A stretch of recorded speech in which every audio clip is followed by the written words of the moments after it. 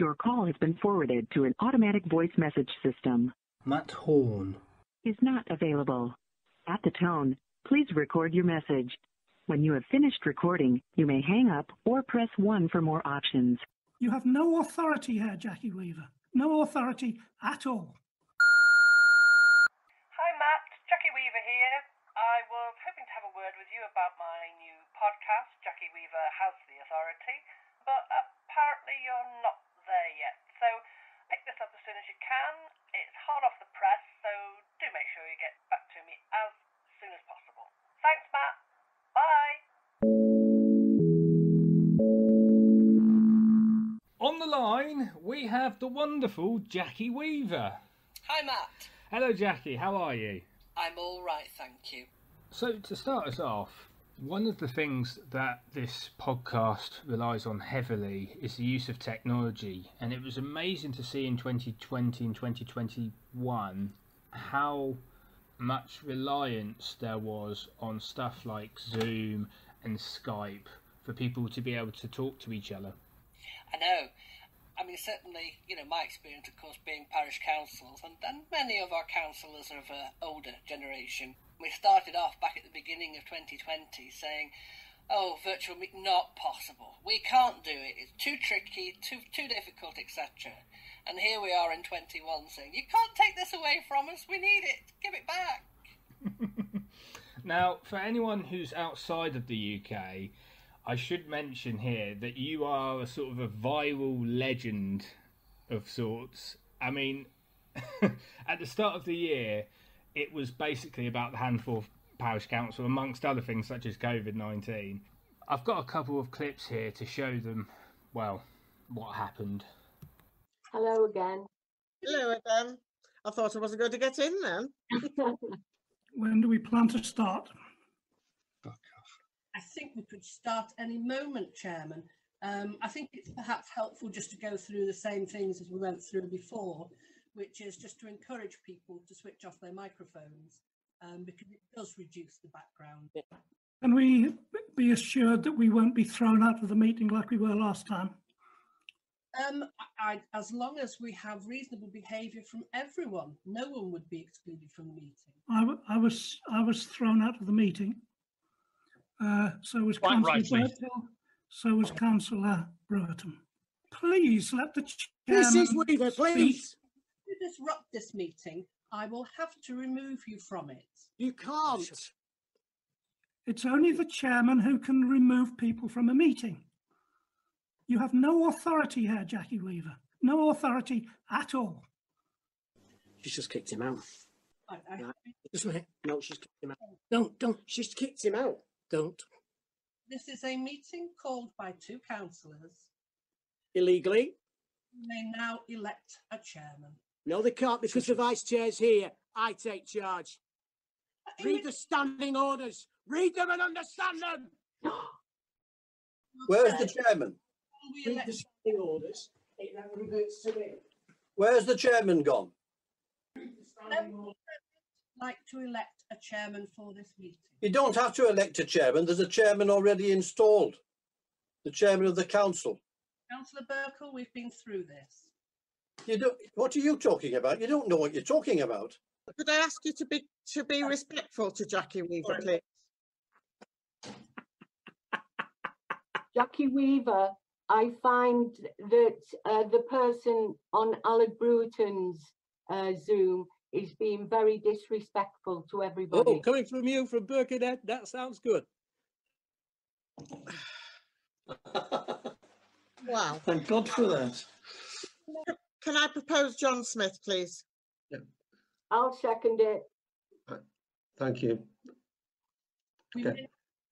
My, my, my first point is to apologise to Jackie, but welcome to Handforth. Indeed, Sorry. it's nothing if not lively in Handforth. Yes, but I, what I would say is that it, was- it was um, a very good example of bullying within Cheshire East and and the environs. Um, the chairman simply declared himself um, clerk um, and notified everybody of the case. Um, and the um, remaining members, um, quite correctly, have you have refused to recognise that that position. But as Councillor Smith says, I'm afraid there's no way of stopping him calling himself clerk. Please refer to me as Britney Spears from now on. So there we go.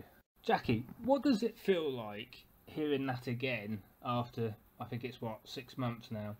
Um, I guess in some ways it's old, but in other ways it's kind of it's still shocking. You know, I'm often asked, you know, you seem very calm. You come across this behaviour all the time? And my answer is, hell no. Who'd want to stay in a job for 25 years where you were constantly faced with abuse like that?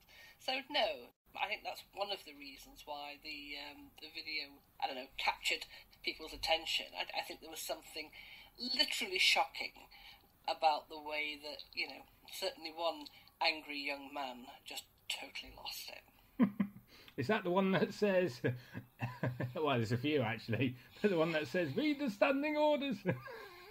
He's very passionate about his standing orders. Hmm. Actually, I feel like I need to be a bit educational here. If you don't know what standing orders are, how would you sort of help them out to explain them, Jackie? I, I think the easiest way to explain standing orders is to say that they are the constitution of the council. So obviously you have this viral video that goes big quite quickly. It was about 24 hours, and everyone was saying to me, you know, you have no authority here, Jackie Weaver. And I'm going, what do you mean? Oh, you've not seen it then, you know, that kind of conversation. And then you've got the mugs, the t shirts, the memes. Uh, I mean, you must have seen some of the memes. Well, I mean, th- th- there is something about ignorance being bliss. And I don't spend a lot of time on the internet. Although my husband might disagree, particularly when it comes to shopping. But you don't tend to see too many memes on the shopping channel. Most of it I didn't actually see. I- I've come across a couple that I thought were very funny. One was Britney Spears in a little kind of blue outfit, looked a bit like a an air hostess of old. Um, and then somebody else had mocked me up with um, Anton Du Beke in a in a very nice dance pose. In fact, I think I'd like that blown up for the bedroom wall.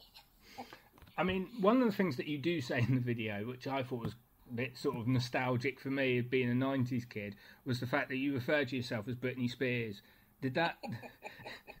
did that just randomly pop into mind? Yeah, I mean, it, it most definitely shows where my my music um, appreciation kind of tailed off. But it, I was trying to make the point, and I wanted to pick someone who I saw as being the opposite of me. So young, slim, you know, pop star, that kind of thing, and making the point that you know I could call myself Britney Spears, but it doesn't make me Britney Spears. and they had one of them had referred, you know, said that they were now the clerk to the council, um, and I was making the point that just because they say they're the clerk doesn't actually make them the clerk.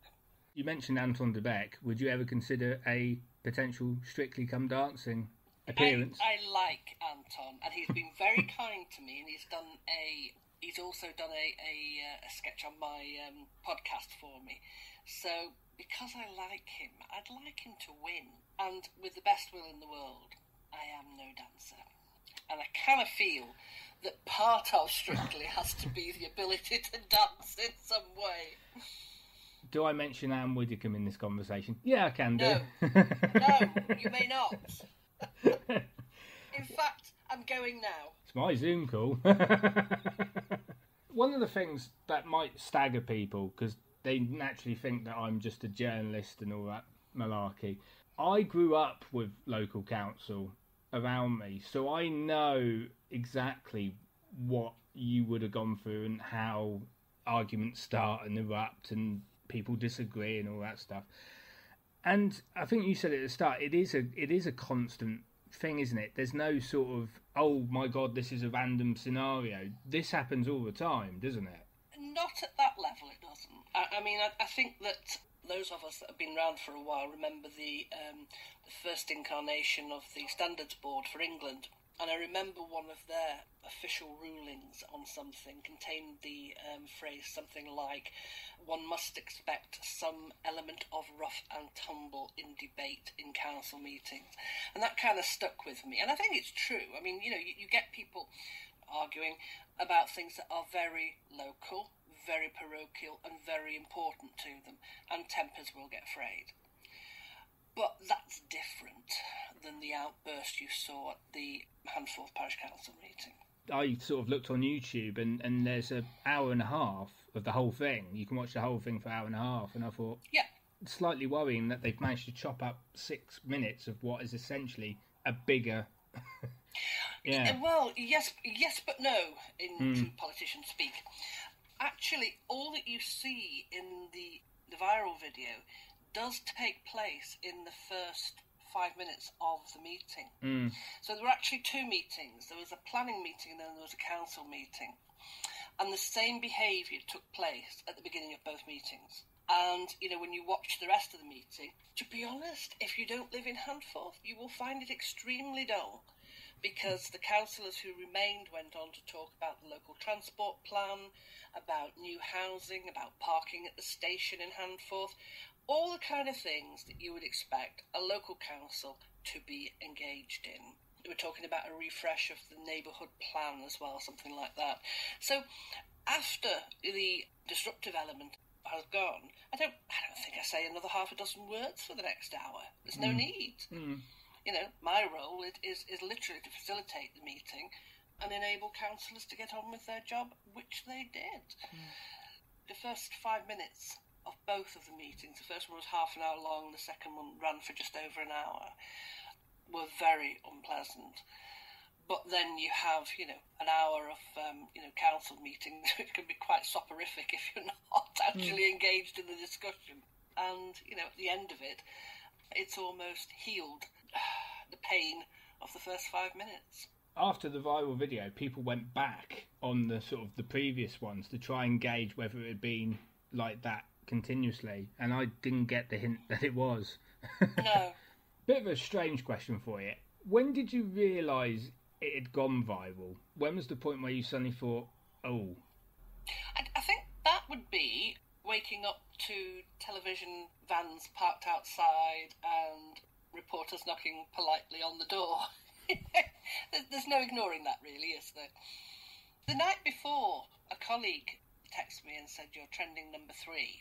And, and that's why I say ignorance is bliss. Hmm. meant absolutely nothing to me at all. Nor did it mean anything when they texted me a bit later and said, You're now trending number one.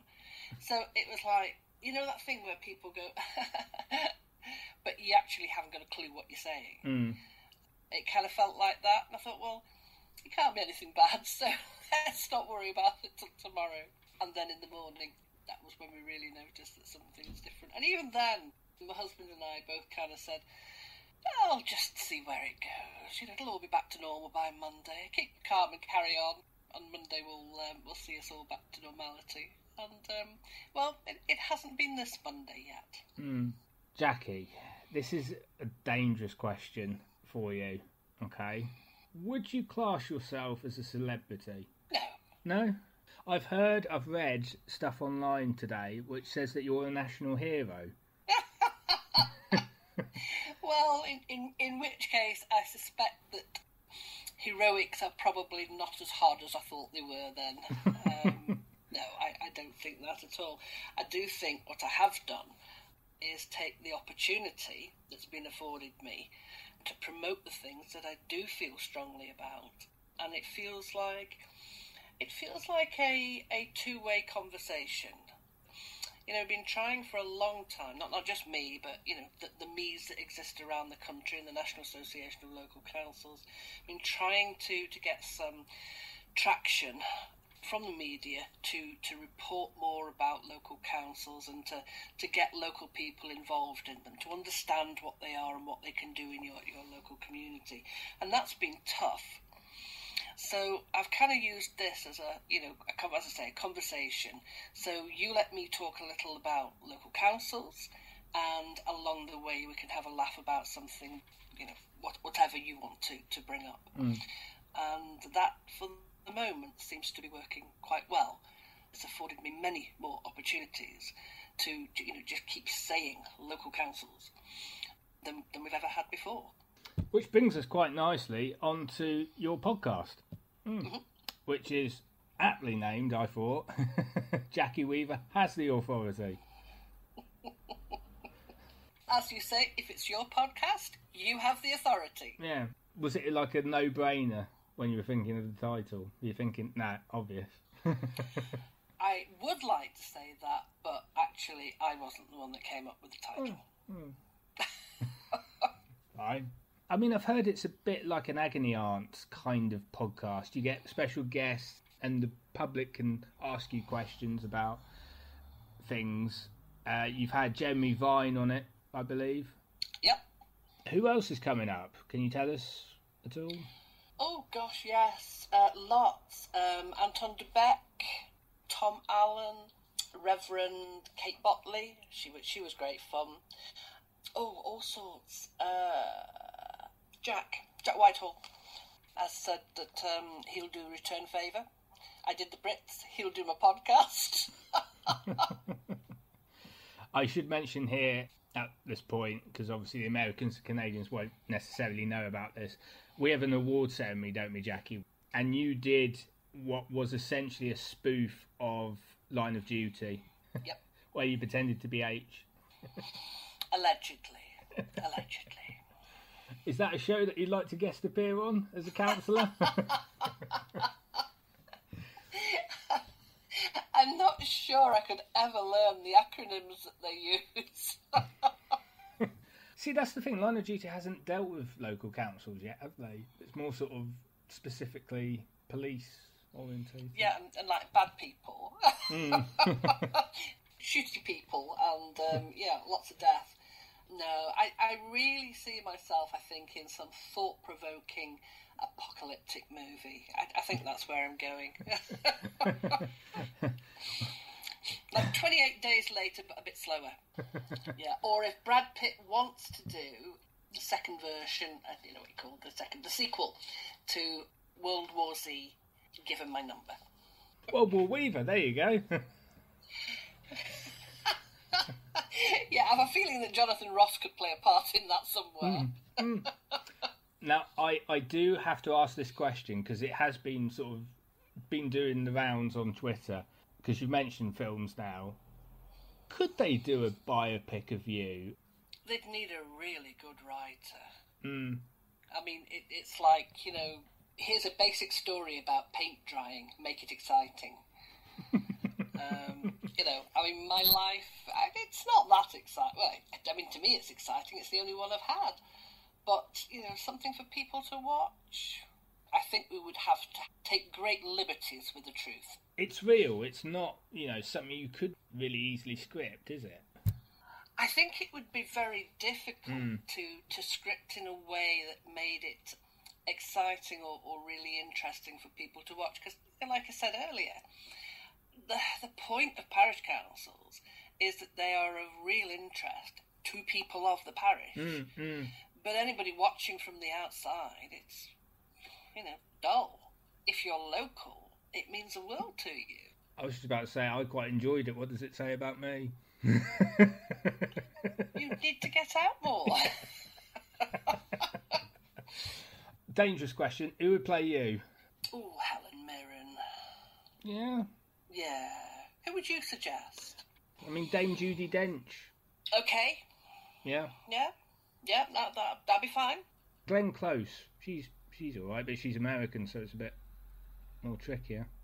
Well, we could, we could try and teach you the accent, couldn't we? I don't want to rule her out on the basis no. of her accent. No. That, that wouldn't be fair. I mean, Jack's obviously going to be read the standing orders. he did that surprisingly well. Mm frighteningly well, I thought. So going back to your podcast, yep. obviously you've opened it up to the public. What are some of the questions you get asked? I said in my last tweet, you know, really we we are answering the questions you didn't know you really needed to have answers to. uh, what can I think of? Mm, how much do you have to pay for a bottle of good champagne? About six quid, I would have thought. Okay, you need to stay in more. um, what is the best dance to outrun the zombie apocalypse? Thriller, I would have thought. Song or dance? Dance. Oh, dance. Oh. What was the answer? What, what did you come up with? Oh, I could not possibly let you know that. You'd have to listen to the podcast. so these important Mm. kinds of questions, yeah? You know, do you put the, the jam or the cream on first on scones? And in fact, are they scones or scones? I mean, that's an age-old conversation. Yes, but these things need answering. that's an age-old conversation. we cannot leave these questions unanswered forever. What came first, the chicken or the egg? If you want to submit it, I think we could consider it. Well, I was going to share with you my sort of question, which Okay. I definitely want to submit to you now, Jackie Weaver, for your podcast. Right. You ready? I don't mind doing it in terms of voicing it if you want me to. Right. Now, I know, of course, that there's such a thing as Ofcom, so I know other headphones are available. Okay. Okay. It's this. So I bought some iFogs earphones the other day, and I got them off eBay, and they got sent to my house.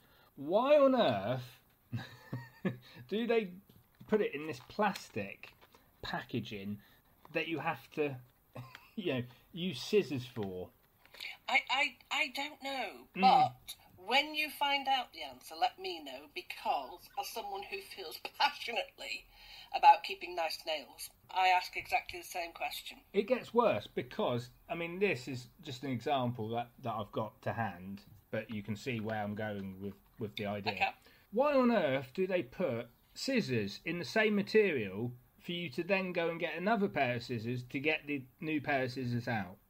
Very important question. Very important question. Can I submit I, it? I have one- I have one for you. Okay. Why is it that when you specifically put into the search engine that you want headphones that are wired, Mm, that you keep getting wireless headphones? that's a good question. I know it is. I mean, it's almost like you sometimes have to read the final, you know, small print to find out. Damn it, they are in fact wireless again. There are so many of these questions. They trouble us. And I, I felt it was my civic duty to begin to try to answer some of those questions. Why is it they remake good movies? Because all the good plots have gone. I mean, I'm a great fan of Tom Cruise. Are you? Um, m- yeah, Mission Impossible. Well, Tom Cruise per se, Hmm. but you know, Mission Impossible. I think I like him particularly. Why did we need to remake The Mummy? Because it's not The Mummy. It's a remake of The Mummy. I mean, it's like, why? Mm. Why not just make a different film with a story about an Egyptian mummy? You know, and then I wouldn't have gone to the cinema expecting to see The Mummy, but with a bit more action. You're enjoying this podcast, aren't you? What's not to enjoy?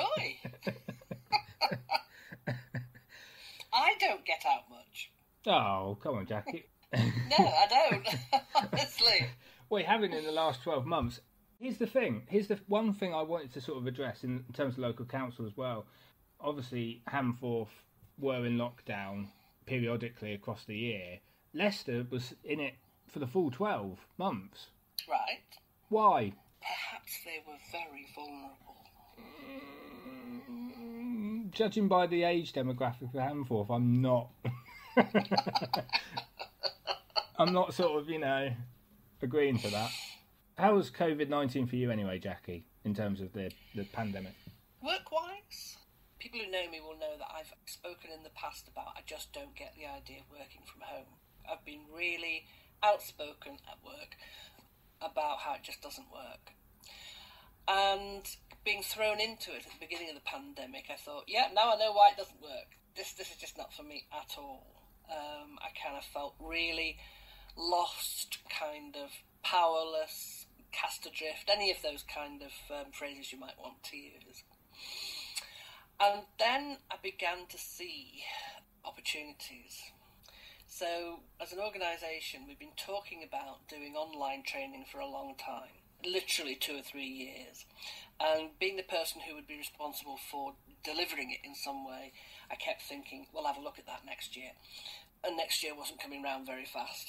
So I started to get to grips with it, and within three months had built a, a reasonably accessible training program um, that we could deliver virtually. And it was really well received. And as soon as I, I kind of felt that sense of, I think I belong here, I, I found a place for me to fit in, it started to look better. Um, and as I say, we went on with the program of uh, training, we went on from strength to strength. Then we started to develop other little initiatives, like on our website, we've got, we've now done it before, but we commissioned three little videos, um, got them professionally done, showing parish councils working with the voluntary sector in their local communities to deliver for, for local people. Again, you know, something we'd never done before. So then we were beginning to see the, the pandemic in, in, in terms of how we could live with it. You know, as I say, I, I felt at the beginning of it that actually we would become irrelevant. You know, the parish councils would all kind of become very inward looking and, you know, as a support organisation, what use would they have for us? But the opposite was true. Parish councils themselves became much more active, they became much more involved in local service delivery, in supporting local people, and then in turn needed us to help them with the logistics of the things that they were doing. So actually, it was a really busy year. And at the end of it, I, I think we feel that, you know, several things. One, the parishes have learned a lot and they've grown. CHALC as an organisation has grown, and actually as a team, we're only a small team, there's just three of us, we have found a way of, of making working from home work for us as well.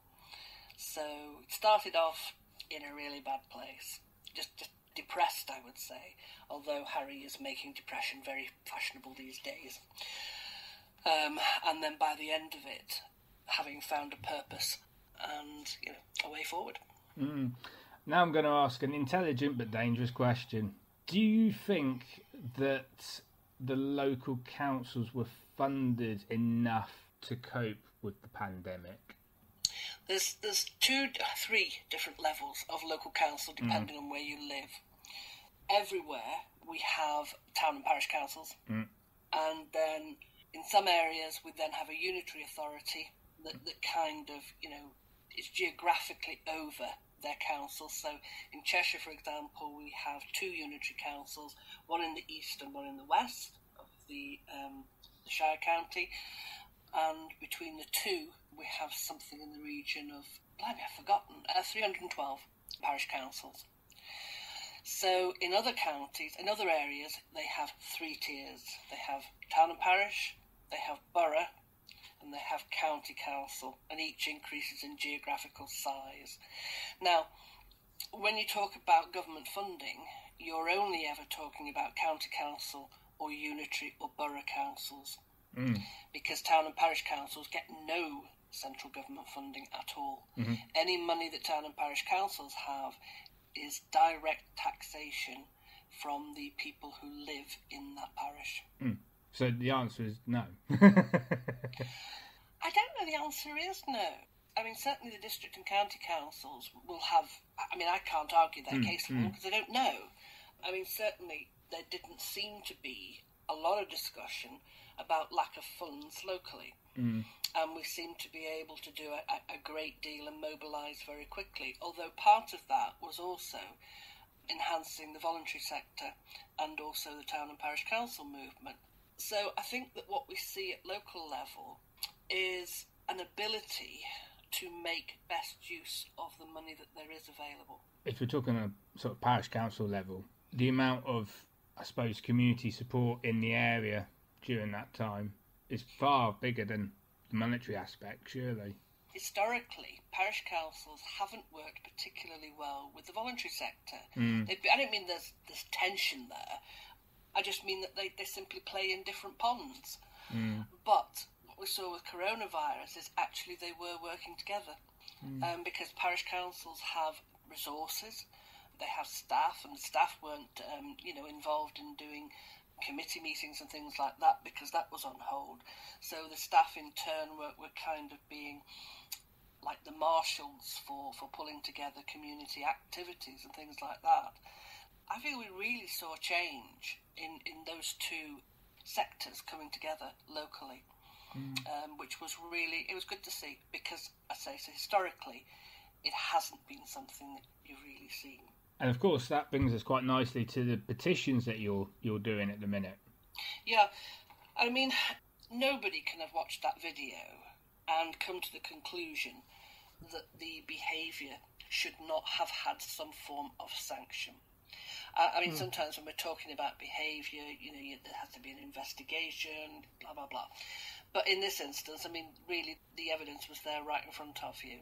But unfortunately, no matter what behaviour that you see from a councillor, unless it moves into criminal behaviour, there are no sanctions. Mm. The monitoring officer can investigate it. The monitoring officer is um, someone from the borough council, usually the borough solicitor. So they can investigate it, they can appoint an external investigator to investigate and report. But at the end of the day, even when it's found that there has been a serious breach of the code of conduct, bullying or harassment or something like that, the monitoring officer can recommend training. They can't even insist that the person undergoes training. And so, what the petition is doing, um, mm. the petition is just being lodged with government now. We just had some feedback on the wording, which they'd like us to change a little. But the petition is to introduce meaningful sanctions into the code of conduct so that when you see behaviour like you saw on the video, I'm not, not saying only that kind of behaviour, but behaviour that falls below the expected standards of someone in public life, then there is the ability to stop them either holding office permanently or suspending them for a period of however many months, mm. or requiring them to undertake training before they can attend another meeting. Mm. You know, because I, I don't believe that if you're really serious about improving standards, you can say that and then say, but we're not going to introduce any sanctions otherwise. But if I recall, wasn't there a sanction after the meeting? Because there was an investiga- there was an investigation. There was an investigation, and the investigation literally was concluded two weeks ago. Mm. The report runs to 156 pages, but it wasn't about the meeting. It was for behaviour before the meeting. Wow. So, you know, as you might imagine, mm. it didn't start that night.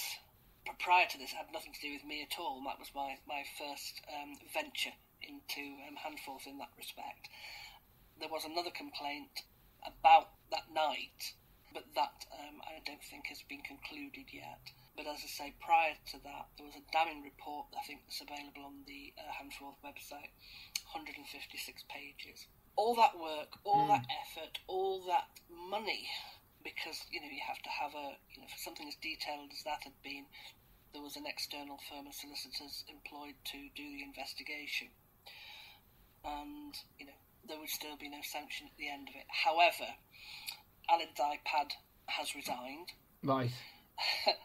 Councillor Burkhill, the one who um, Barry. starts the meeting. Yes, but he's um, back mm. to the um, the camera. He has resigned, mm. And the chairman has stepped down as chairman, but has retained his seat. Right. I'm a member of the public, Jackie, and you've just told me there's a 156 page document that's been processed, looked at, all that stuff. With a team of lawyers, so that would have cost money. Oh gosh, yes is it a bit of a waste if there's no no sanction at the end of it? You're exactly the kind of man I need to have sign my petition. Absolutely mm. right. Absolutely. Yeah, yeah, absolutely. It is a nonsense. There are no sanctions. Now, I guess that one of the reasons why is because whoever was drafting the original legislation assumed that there was kind of you know, if somebody had behaved very badly, for example, the party whip would be withdrawn. And that is a kind of sanction if, if you're a, a creature of the party. But our parishes are apolitical, so it's irrelevant. And there was another there was another petition you're you're doing as well, apart from the sanctioning one. Yeah. Don't like to let too much grass grow under our feet. It isn't actually a petition, but the government currently has a call for evidence on their website into the retention of the ability to hold virtual meetings. Unfortunately, the way the legislation was drafted, councils in Ireland and Wales are in fact able to continue holding virtual meetings. But the way the English version was drafted, it was only made available to councils for 12 months. So on the 7th of May, we lost the ability to hold virtual meetings. And what we're saying is that that is ridiculous. You know, in a modern world, you know, we should be able to hold virtual meetings. And we have lots of evidence, that's okay because the government's called for it now, um, showing that actually they, they, they are hugely important when it comes to inclusivity. You know, if we're trying to encourage more people to get involved, then, you know, taking away something like this at this time is just crazy. It's a real backward step. Well, I'm now going to do something new for Matt oh. Horn Meets. Yes, I know, you're my guinea pig. so, Oh, sweet. at the start of the year, we lost Larry King. And on his show, he had a segment called If You Only Knew. So, in honour of Larry King, it's back. And I've renamed it. It's now called If You Only Realised.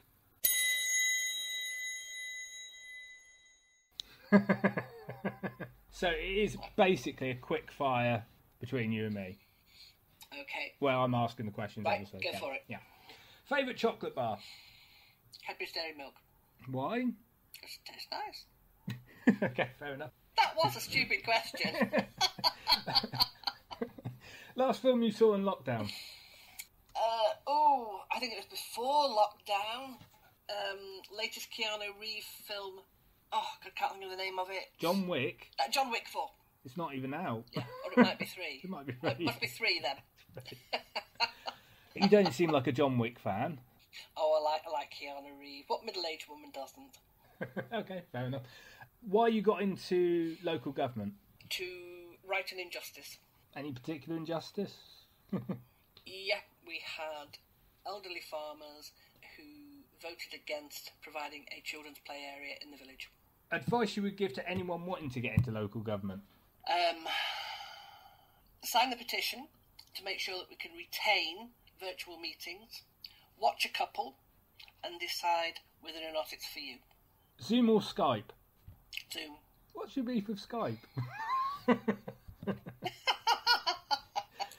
In my particular circumstances, whether it's my IT setup or whatever, I seem to drop out of Skype more often than Zoom. Been a fairly good connection so far. Yeah, yeah. Gogglebox or The Chase? Gogglebox. Taking part in which one would you have done? Gogglebox. You want to do Gogglebox? I thought Gogglebox I'd, I'd well. like to do Gogglebox. Mm. Yeah. The last TV soap you watched? Coronation Street in the 60s. I think I think Sir Patrick Stewart was in seventies or sixties, something like that. Was he? Yeah. Oh, I must have missed that, but I, I would have been very young then, thinking about it. Yeah, Patrick Stewart, great fan. Favourite sport? None. None. None. You don't like watching sport? No. Really? Yes. I've got three boys and one husband, um, which I think is much better than having three husbands and one boy. And none of us watch any sport at all. Your favourite political person who's been an inspiration to you? I haven't got one. No, not someone historical. No. I was going to say your favourite battle next. oh,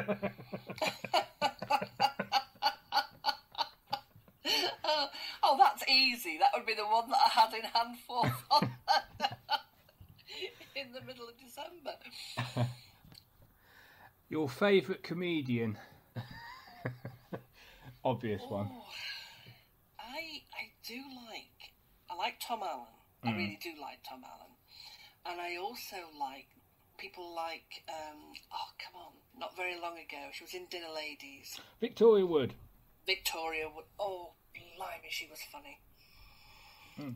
So yeah, If you had the choice of three people to dinner, you can choose from people who are alive, people who are deceased. who would you choose and why?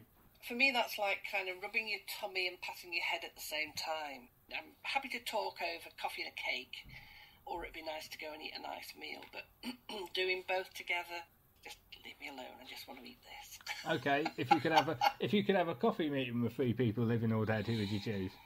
Oh golly, because I don't I don't do history. It kind of narrows down the choice a lot. So it usually ends up being kind of like people that aren't real, like Mr. Spock from Star Trek.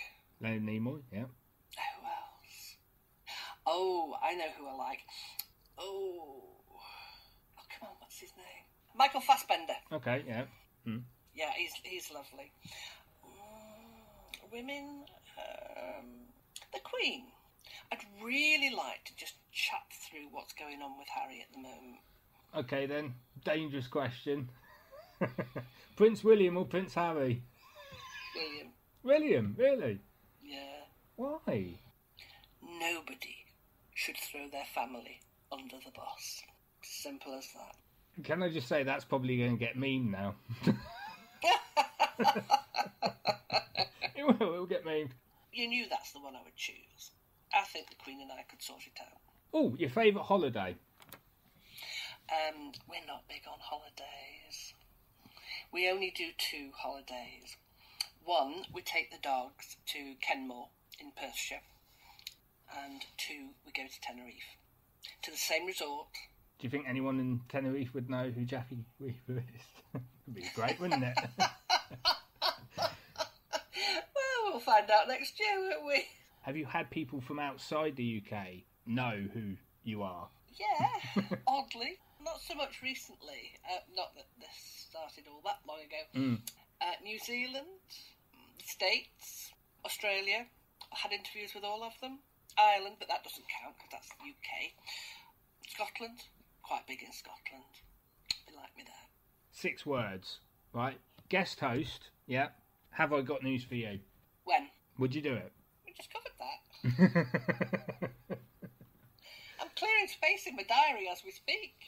Because let's be honest here, it's either have I got news for you, which Boris was on, or becoming Prime Minister. That, that's a no-brainer. I do not want to be Prime Minister.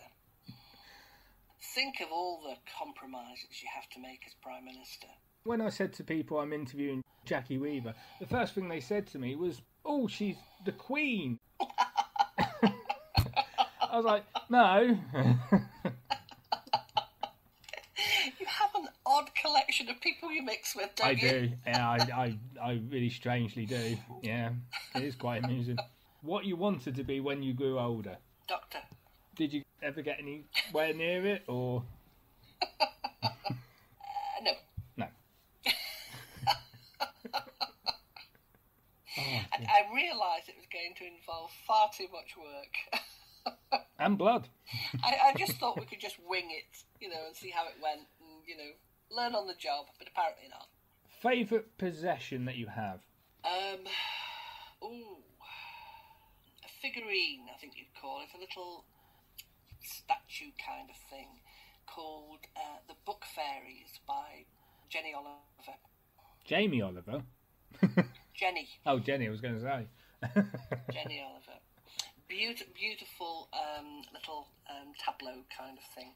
So you you into your art, into your sculpture? Not so much. Sometimes something just sings to your heart, and this was one of those things.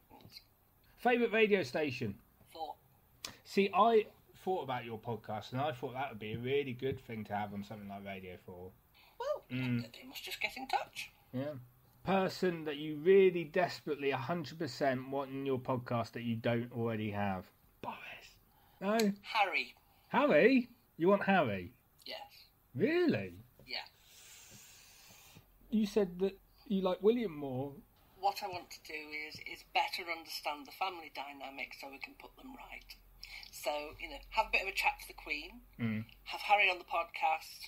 I think we're I think we're onto something there. Because you're sort of turning into the what would be the word the mature version of Jeremy Kyle. Interesting.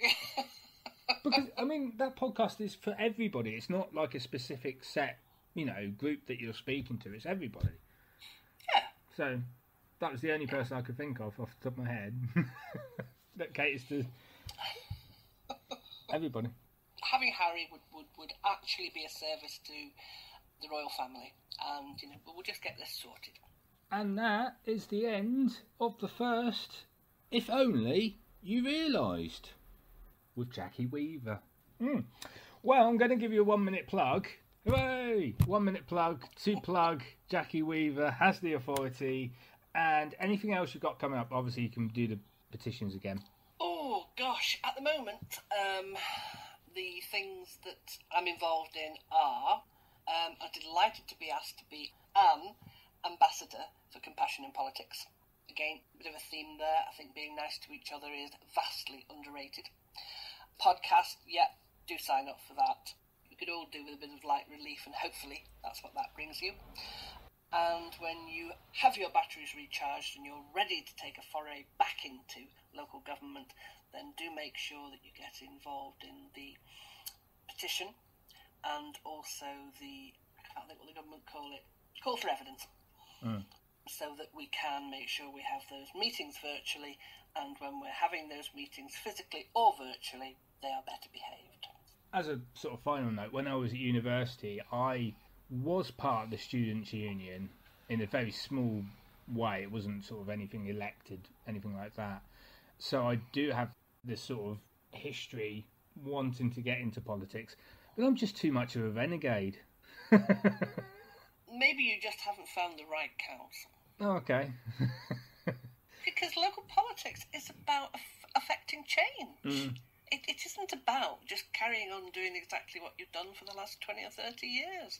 Mm. So, you know, it, it's, it's kind of, you know, like I said earlier, it's about recognising that the council itself is just a tool.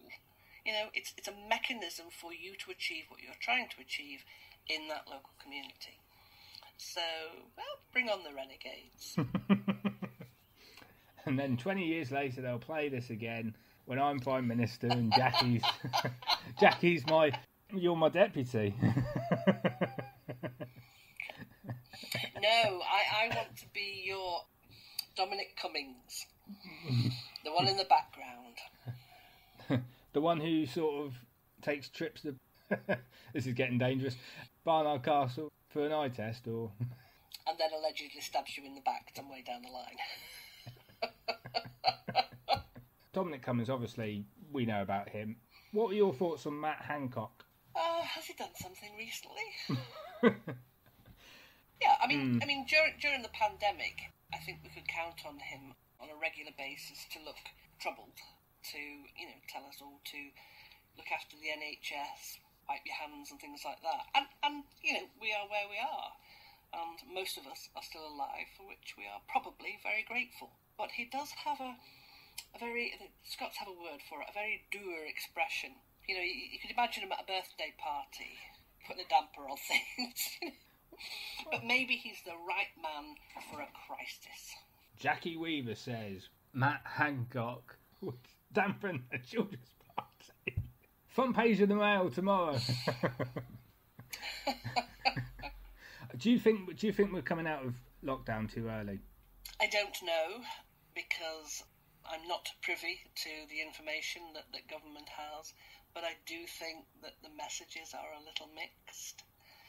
We are being advised that we have a new variant coming in that's quite aggressive, and then I read in the mail we have a hundred thousand people booked on holidays to Spain this month. I'm not quite sure how those two things go together, but Mm. I'm not the one with the information, so maybe it's okay. So you're a mail reader. Yes. I like their letters page. Have you written in? I like reading it, not writing it. They might give you your own column. well, if Bel Mooney wants a week off, they should just get in touch. Well, Jackie, it's been a pleasure. Thank you. Obviously, we'll have to get you back in some form of capacity. I don't know where. Uh, I might need bribing, but okay. That's fine. If you want me to be on your show, that's fine. I'll speak to our agent. You've got an agent? Oh, I don't. No, I haven't. I haven't actually got an agent. Might be more or less busy. I'm not sure which. Mm. Well, he, he's the more busy, obviously. Well, it'll be interesting to see if you all remember me at Christmas or when I'm next seen in Tenerife. See, I'm sure there's a there's a toys department out there now doing Jackie Weaver plushes. You press it and it goes, "You have no authority," you know. I, I'd prefer to think they were doing a version of Barbie, a kind of shorter, wider version. That's the question for the for for the public, isn't it? Would you want to plush plush Jackie Weaver or a um, or or a Barbie? It's it's a question. You see, that's the kind of question you need to write in with. Do I tweet? Do I tweet it by the way, if I want to? Yes, you know where to find me on Twitter. Yeah, I do. Or um, you could do it directly to um, at Jackie Weaver Pod. Yeah, wonderful. I'm just gonna just gonna do that, do that, do that now. I shall I shall look out for it. Wonderful stuff. Wonderful stuff. Well, Jackie, it's been a pleasure interviewing you. And you were good fun. Bye bye now.